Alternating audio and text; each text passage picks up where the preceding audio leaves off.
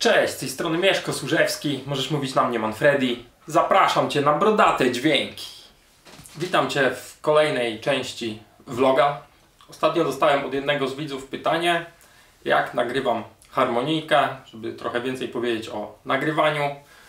Akurat tak się złożyło, że e, w zeszłym roku, w grudniu, e, nagrywałem jeden utwór z gościem z zagranicy, tutaj w tym skromnym studio. I cały czas się zbieram, żeby dograć do tego harmonijkę i skończyć ten kawałek. Więc stwierdziłem, że zrobię przyjemne z pożytecznym. Nagram harmonikę do tego utworu i przy okazji w formie vloga opowiem o procesie nagrywania. Odcinek będzie składał się z dwóch części. W pierwszej części opowiem o sprzęcie, co tutaj podłączam.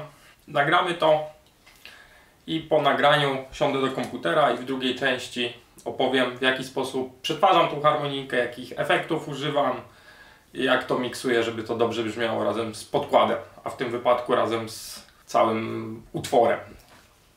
To może nie przedłużajmy, weźmy się do pracy. Trzeba tutaj przearanżować studio, rozstawić trochę, trochę gratów, ponieważ utwór jest w klimacie bluesowym, nawet bym powiedział takiego akustycznego bluesa rodem z Delty, to pierwszym wyborem tutaj byłaby czysta harmonika, nieprzesterowana, nagrana mikrofonem jakimś wokalowym czy instrumentalnym.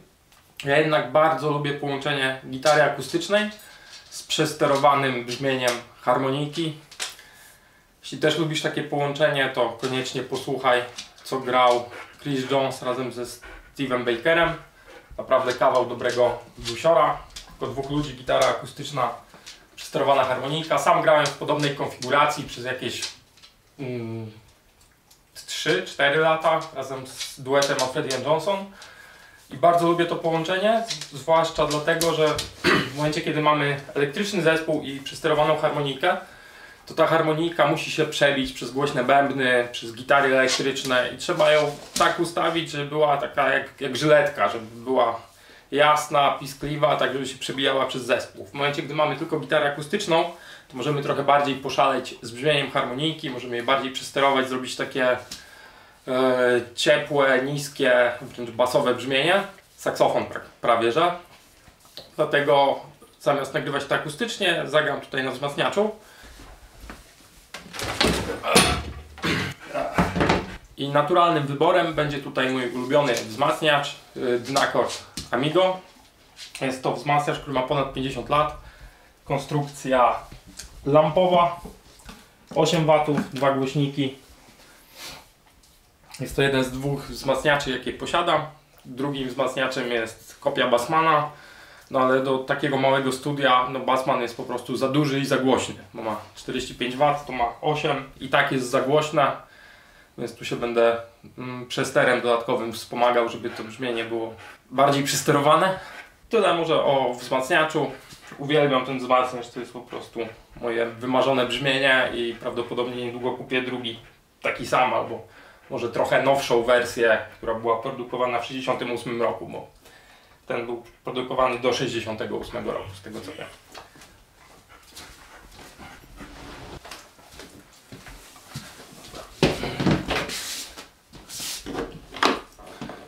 Tutaj mamy y, kolumnę basową, która posłuży nam za podstawkę pod dynakorda.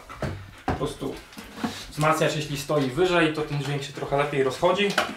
Przede wszystkim niskie częstotliwości nie odbijają się od podłogi. No i łatwiej je potem opanować w miksie.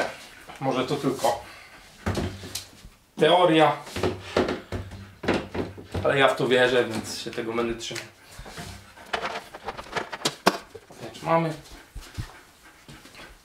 Podłączmy go. Teraz co podłączymy do wzmacniacza? Do wzmacniacza podłączymy podłogę z efektami. Jak zawsze to samo. Efekty niestety.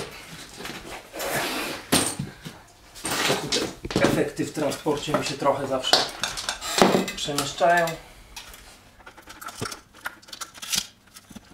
Ale to nic, już naprawione. Ok. Użyję tutaj tylko trzech efektów. Czyli tak naprawdę te dwa będą wyłączone. Użyję przesteru własnej konstrukcji, który symuluje brzmienie Fendera Tweeda Deluxa, tego starego. Następnie pójdzie to przez analogowy delay Bossa, Boss DM3. Stara konstrukcja, trudno go teraz dostać z tego co wiem. Jest jakiś 78 rok bodajże. I na koniec puszczę to przez cyfrowy reverb, ale tak bardzo delikatnie ustawiony, żeby trochę przestrzeni nadać. Ponieważ reverby potem będzie można dodać w postprodukcji w komputerze. Ok, podłączmy teraz podłogę. Wzmacniacz już był włączony.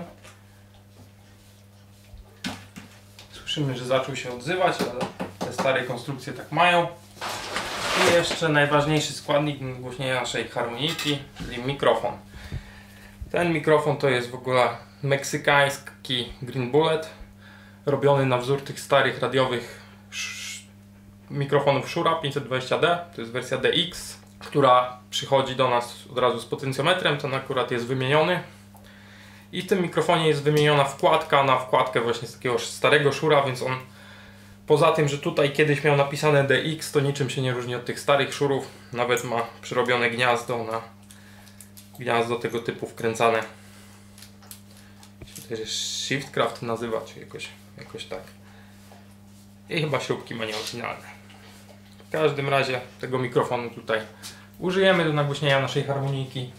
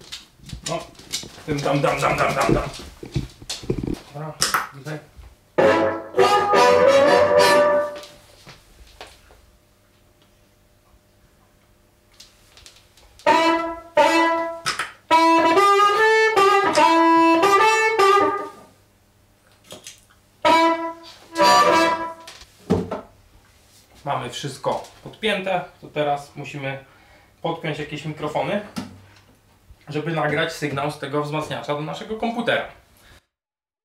I w tym celu użyjemy dwóch mikrofonów, ponieważ wzmacniacz ma dwa głośniki.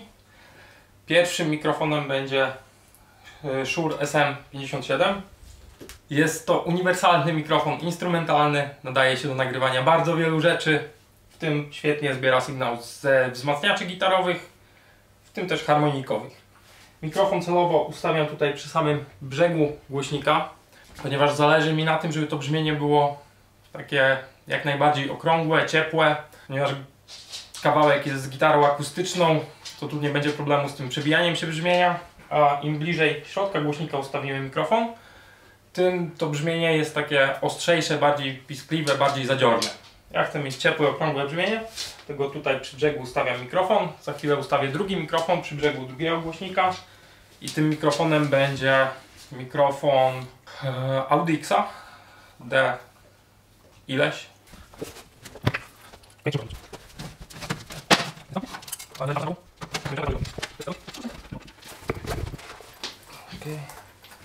To jest mikrofon Audix D6.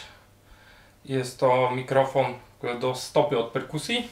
Bardzo dobrze też zbiera wzmacniacz basowy, a ja go użyję tutaj do tego większego głośnika, żeby mi trochę dołu jeszcze zebrał, żebym to brzmienie mógł tak jeszcze bardziej zaokrąglić w tych dolnych częstotliwościach.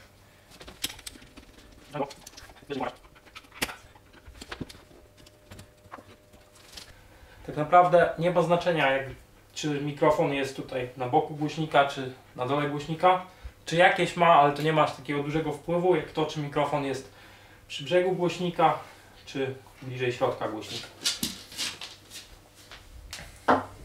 No i teraz podepnijmy kable.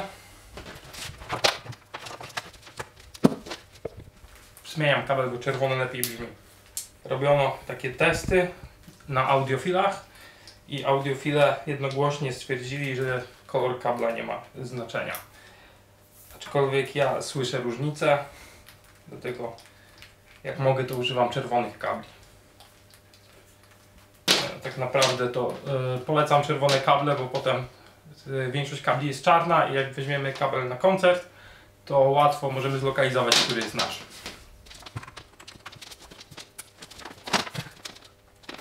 Kable z jednej strony są podłączone do mikrofonów, które są przy wzmacniaczu, z drugiej strony kable wpinamy w interfejs audio. Ja akurat aktualnie nie mam interfejsu, to znaczy mam stary interfejs, którego używałem Akai AE Pro.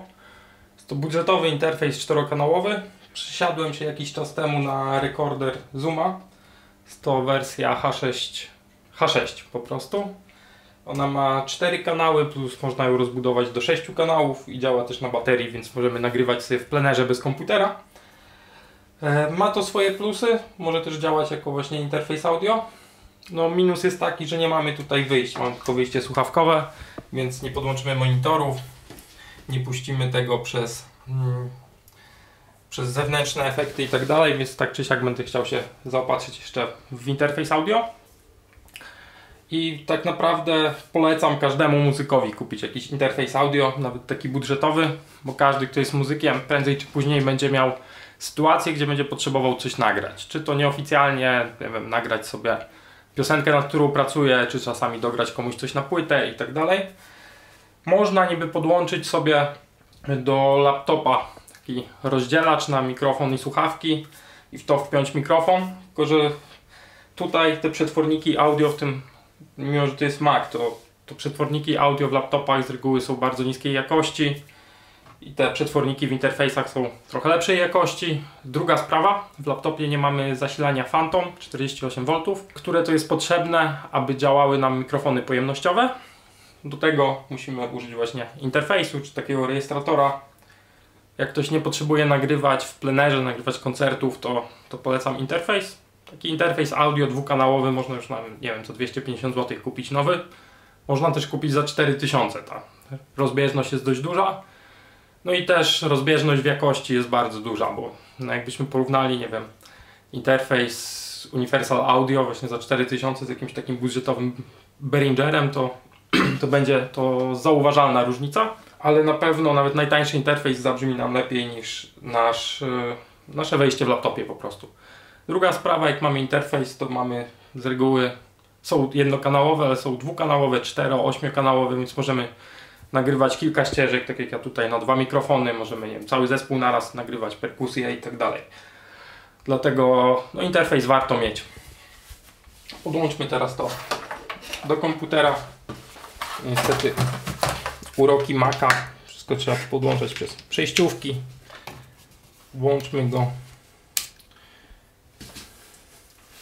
No tutaj ma tryb audio interface, multitrack, czyli wielokanałowe nagrywanie. Używamy kanału drugiego i trzeciego. Zaraz ustawimy głośność. Włączmy tutaj laptopa. Ok, mamy nasz projekt, na którym będziemy pracować. Ja tutaj później, jak będę już pracował na projekcie, to wszystko Ci pokażę wewnątrz programu. Na tę chwilę po prostu potrzebuję dodać dwie nowe ścieżki, uzbroić te ścieżki, tak żeby nam mm, nagrywały. Musiałem się nachylić, bo nie wziąłem okularów. No i muszę ustawić, które wejście ma mi nagrywać. I mamy wejścia 2 plus 2, czyli to jest 4 yy, i 5. Dobra. Nie chcemy odsłuchu. Podepnijmy słuchawki. I tu bardzo ważna rzecz.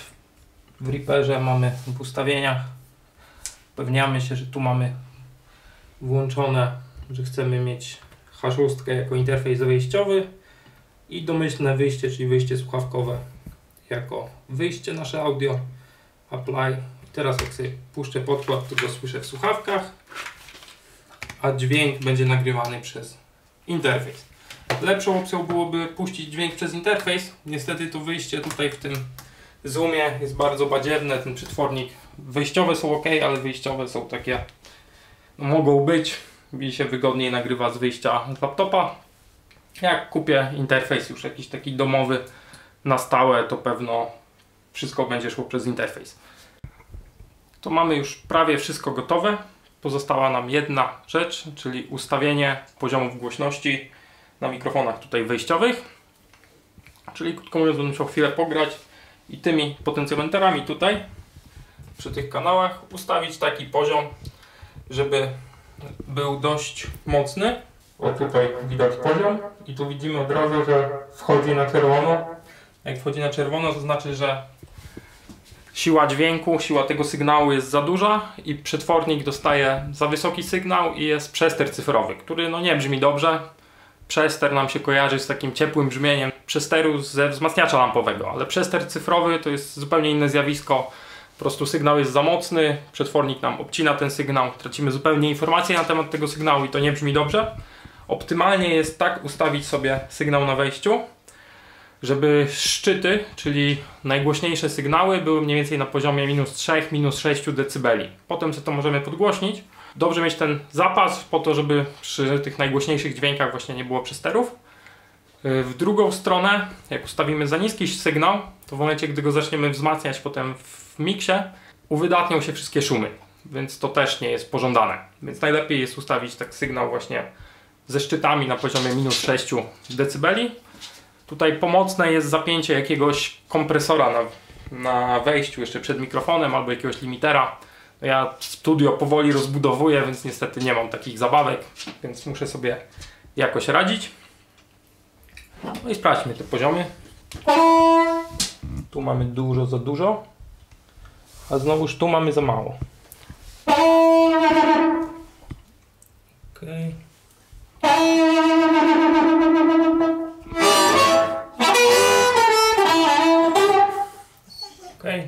Ponieważ na tym wyświetlaczu niewiele widzę, to jeszcze skontroluję te poziomy sobie w Reaperze.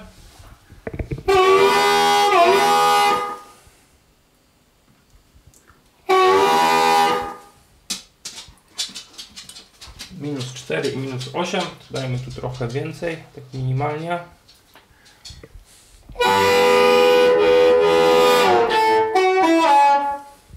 Minus 6, minus 4. Minus 6 dB, minus 4 dB. Uznaję to za bezpieczny poziom. Ok, to mamy już wszystko ustawione. Ujęcie jest ustawione. Mikrofony są podpięte. Harmonika wybrana. Zajdel 1847. Wersja Classic, ale z korpusem z wersji Silver. Taka mała hybryda. Harmonika w tonacji A, utwór będzie w tonacji E. Wszystko jest przygotowane, to ja zakładam słuchawki i lecimy z pierwszym take'iem.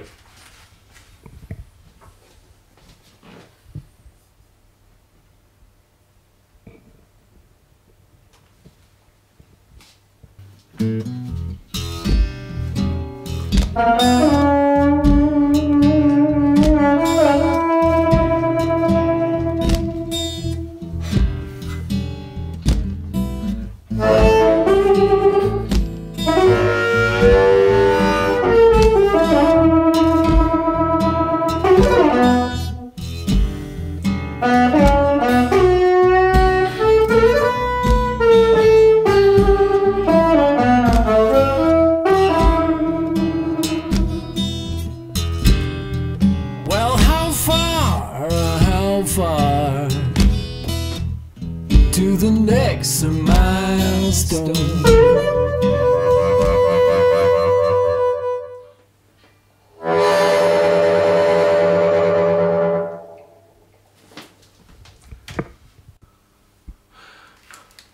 Ok, nagrywanie mamy zakończone. Możemy teraz siąść do komputera i zabrać się za mix.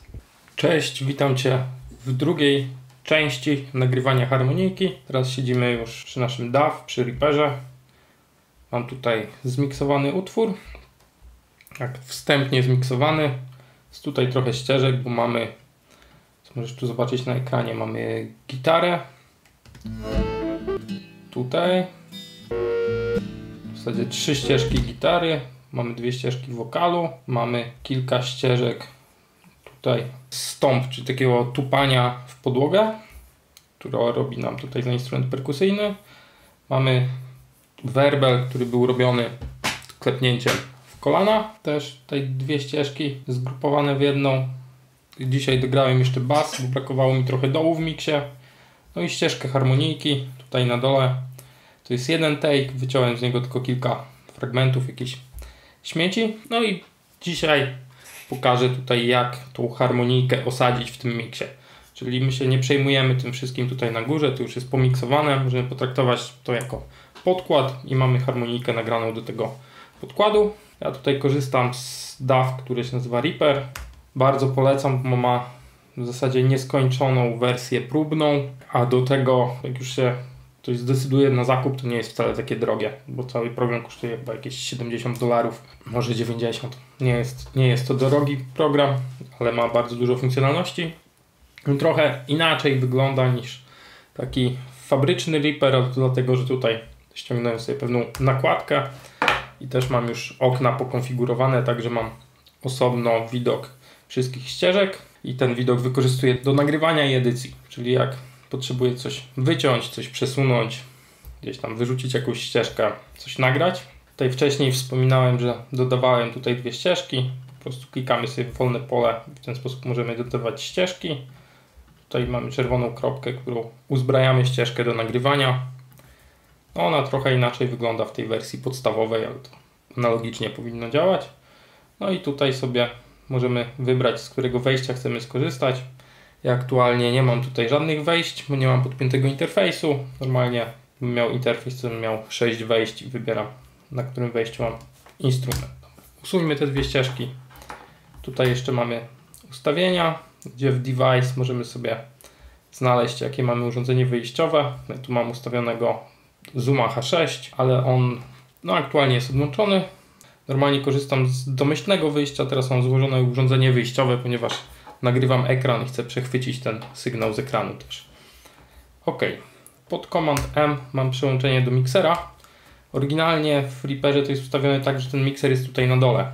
Ponieważ ja miksuję tylko na widoku miksera, to mam ten widok po prostu zrobiony osobno. Czasami jak mam zewnętrzny monitor, to to jest na drugim monitorze. No i ten mikser wygląda tak jak podobnie do takich mikserów analogowych. Tu na dole mamy suwaki, gdzie możemy sobie ustawić głośność. Tutaj mamy panoramę, ponazywane kanały. To jest gitara. Sobie możemy opisać. I tu mamy dwie ścieżki harmonijki i tak naprawdę ta harmonika nas będzie dzisiaj tylko i wyłącznie ona będzie nas interesowała. Do tego tu mamy wysyłki, tutaj możemy wpinać efekty. Możemy też wejść sobie w FX i tutaj wpinać jakieś efekty, pluginy, ale to za chwilę. Przejdźmy sobie na chwilę jeszcze do trybu edycji, ponieważ chcemy mieć tylko harmonijkę, bo ją będziemy miksować. Weźmy sobie taki fragment tutaj, gdzie jest solo harmonijki i go sobie tutaj włączmy zapętlanie i możecie teraz tutaj zobaczyć, co nam się i teraz to nam się ładnie tutaj e, zapętla wszystko. Ok, to teraz posłuchajmy jak ta harmonika brzmi. I pierwsze co będę robił, to będę dopasowywał głośność tej harmoniki, tak żeby ona siedziała w miksie. I jednocześnie bawił się tymi dwoma suwakami tutaj, ponieważ zresztą posłuchajcie, każda z tych harmonijek brzmi trochę inaczej. Tak brzmi harmonika nagrana SM50, szurem SM57. Yy, ona jest tutaj nagrana z tego mniejszego głośnika 8-calowego, no a druga harmonika była nagrywana z głośnika 12-calowego yy, Audixem D6, więc ona będzie brzmiała zupełnie inaczej. Tak brzmi ten nasz szur, a tak brzmi Audix. No i teraz chcemy to brzmienie tutaj ustawić mu głośność i dopasować je, no tak żeby to brzmiało jak najlepiej, tylko i wyłącznie z wykorzystaniem głośności poszczególnych mikrofonów. Well,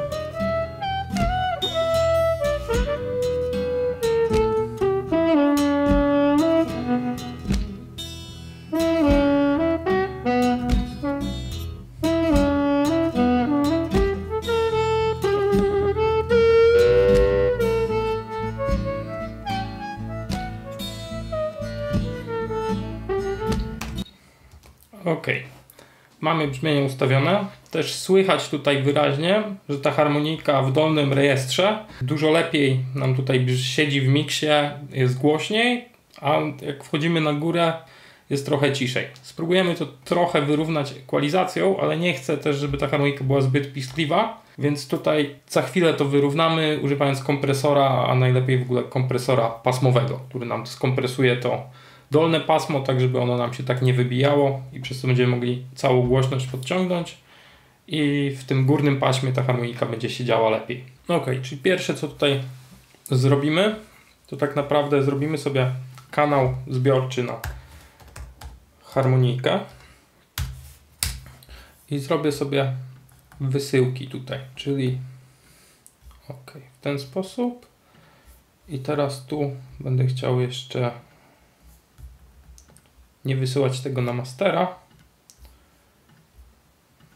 tylko na wysyłkę. I w ten sposób mamy harmonikę z tych dwóch kanałów zebraną w ten jeden tutaj zbiorczy. Harmonikę dajmy sobie tutaj.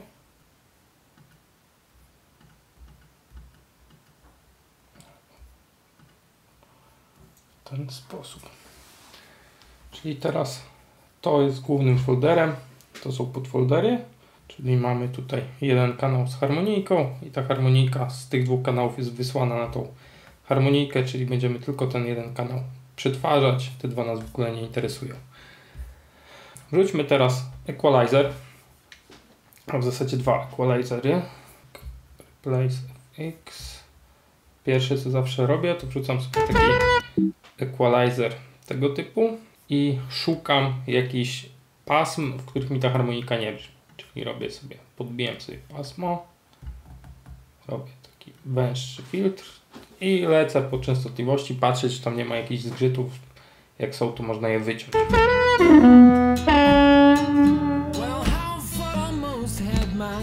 Well,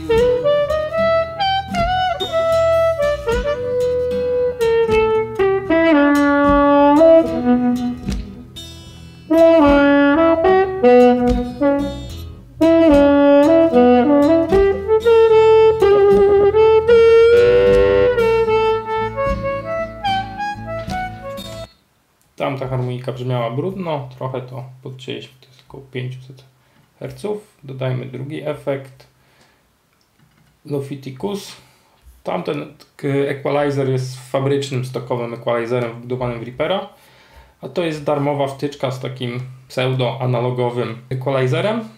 Ma fajny charakter brzmienia i bardzo, bardzo ją lubię. Dlatego była za darmo.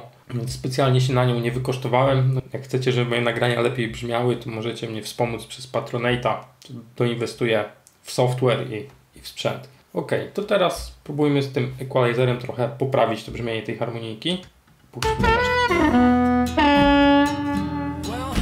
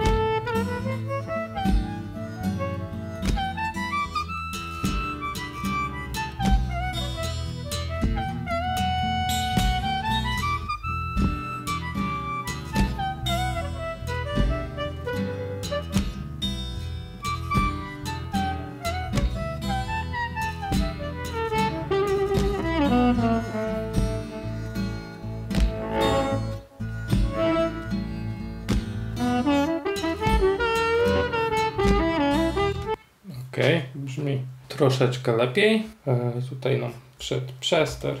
Niestety w tej wtyczce muszę przejść tutaj, żeby go odznaczyć. To takie czerwone pole, one nam, ono nam sygnalizuje, że nasz sygnał był za duży po prostu. Ale to już mamy wyrównane. Ok.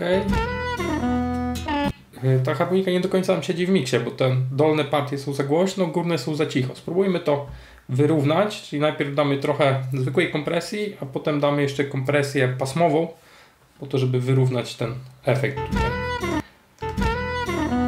Tutaj mam taki kompresor mm, stworzony przez Rosjan, Molot, symulacja analogowego kompresora, też darmowa wtyczka, ale bardzo fajnie działa. Nie będzie to film poświęcony temu, jak używać kompresora. Jak interesują Was takie tematy, to dajcie znać w komentarzu, może zrobię całą, całą serię takich filmów, gdzie trochę więcej będę pokazywał, jak tutaj ten dźwięk przetwarzać, jak go nagrywać, jak zmieniać ten dźwięk i tak dalej. A ja tutaj pokręcę tym kompresorem, żeby trochę to brzmienie wyrównać i zobaczymy, jak to, jak to nam zabrzmi.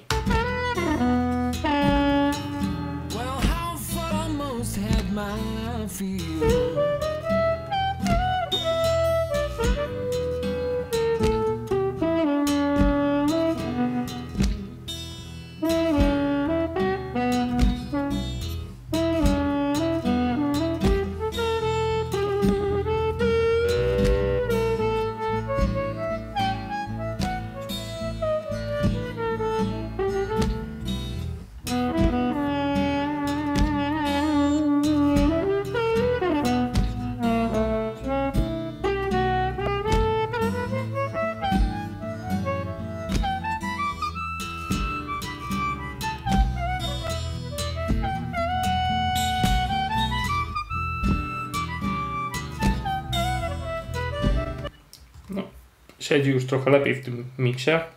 Taki kompresor też fajnego charakteru nadaje. Tutaj spróbuję jeszcze użyć czegoś takiego, co się nazywa Smasher. Jest to symulacja takiego wznanego analogowego kompresora. Niestety ma tu bardzo mało ustawień, nie możemy ustawić ani czasu ataku, ani release'u. Jako bardziej traktuję na zasadzie takiej, a sprawdzę, jak działa to ok, jak nie działa to, to go wyrzucam po prostu. Well,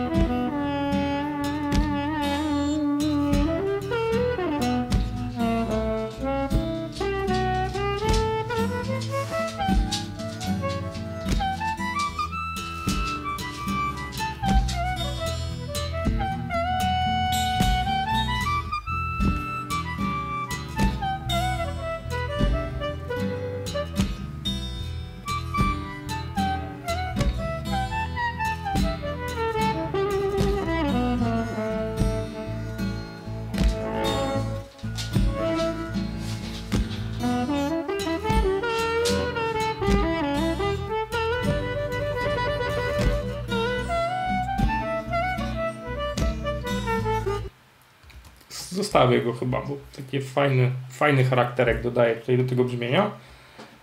No i na koniec mówiłem o tej kompresji pasmowej. Niestety, jeśli chodzi o pasmowe kompresory, to nie mam tu za dużo do wyboru, więc użyję tego stokowego, mm, reaperowego, tego co jest wbudowany program. Ok, przełączę na chwilę na widok ten, ponieważ interesuje mnie ten, szczególnie ten moment, że ta harmonika gra tu górę taką.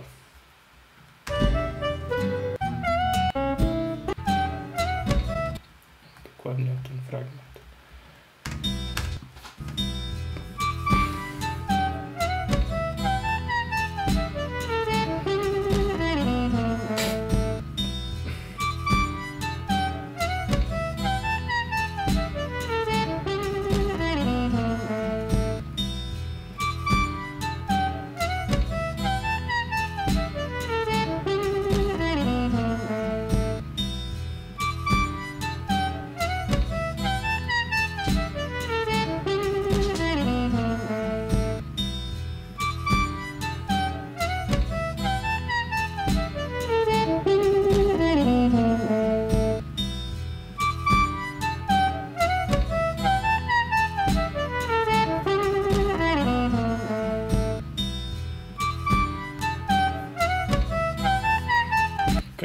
Ok, posłuchajmy jak to wpłynęło na ten wcześniejszy fragment.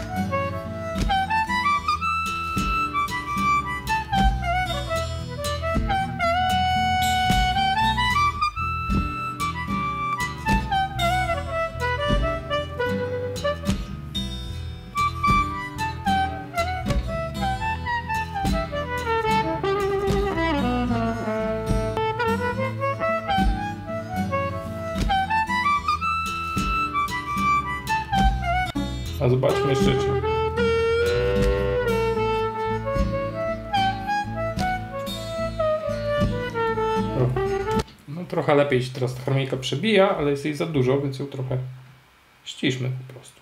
W zasadzie mm, zostawmy tak jak było. Po prostu na wyjściu tutaj zdejmijmy trochę gej.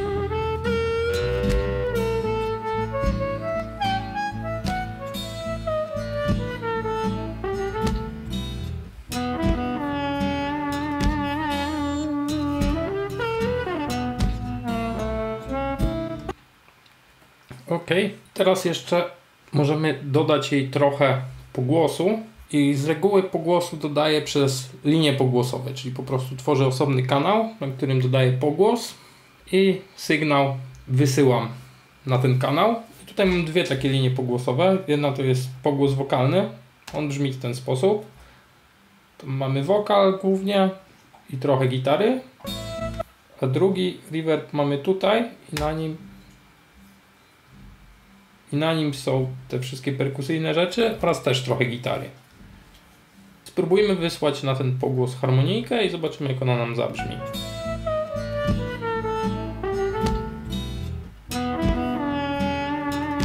No oczywiście, oczywiście tego głosu jest jest fajny, ale jest dużo za dużo, więc zdejmijmy go tutaj na wysyłce.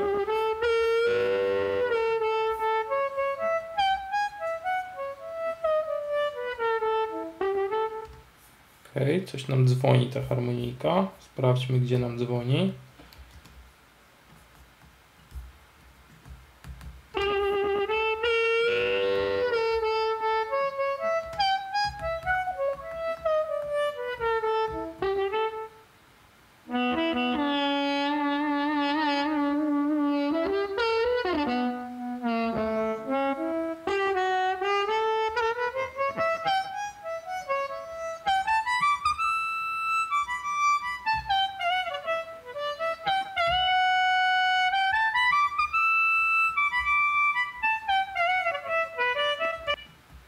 Ewentualnie trochę zdjąć. Ale to tego nie będzie słychać w całym miksie. I zobaczmy, jak teraz ta harmonika brzmi tutaj z tym delikatnym pogłosem.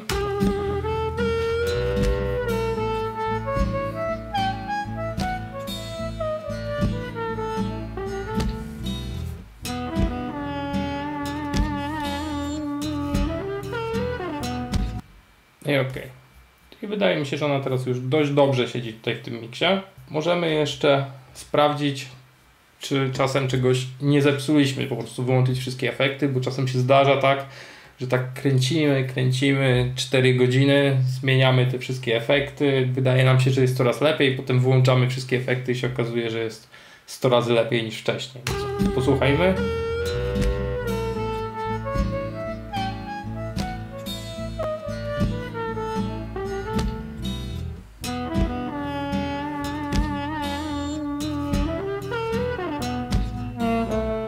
Bez efektów.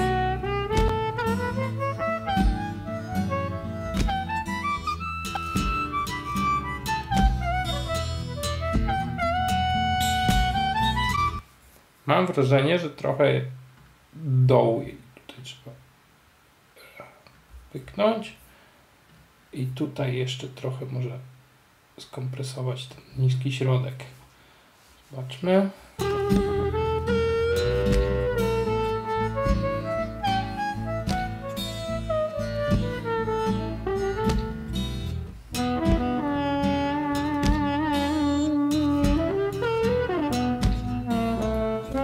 To, to mięsko, o które tutaj chodziło.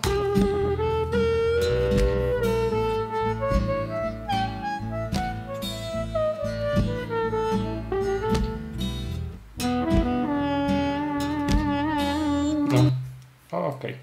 I Moim zdaniem jest, jest już ok. Ja teraz sobie przesłucham cały utwór, żeby zobaczyć jeszcze, czy ten poziom się zgadza na początku, na końcu. Jakieś takie małe korekty zrobię i biorę się za master tego kawałka, żeby potem go poskładać i wrzucić na YouTube'a oczywiście specjalnie dla Was.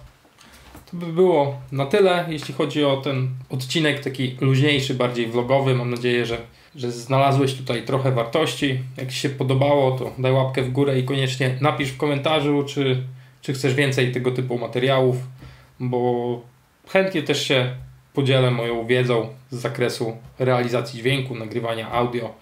Może nie jestem zawodowym inżynierem dźwięku, no ale bawię się tym home recordingiem już od kilkunastu lat, więc coś tam mi się udało dowiedzieć w tym czasie. Trzymaj się, cześć. Harmoniki w dłoń, oczywiście.